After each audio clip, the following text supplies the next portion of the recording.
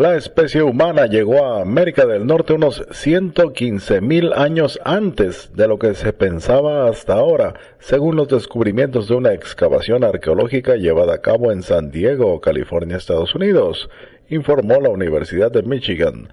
A esta conclusión, que se publicará en un artículo en la revista Nature, llegó un equipo de investigadores que analizó los restos de un mastodonte de 130 mil años en los que vieron clara evidencia de que humanos habían modificado el sitio.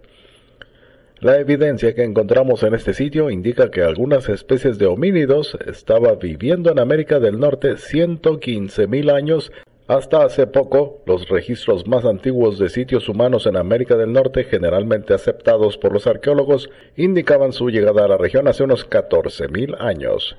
Sin embargo, el estudio indica que son varios los factores que revelan presencia humana mucho antes en la excavación de este mamut. Bueno, y como siempre, todos aquellos que cuestionaban la historia oficial como Michael Cremo, ahora se ven confirmados por la misma ciencia oficial. Seguramente en el futuro encontraremos corroboración de informaciones que ahora solo nos parecen ridículas o extraordinarias. Se despide tu amigo Tony Miskatonic y te deseo buenos días y prepárate para lo que viene.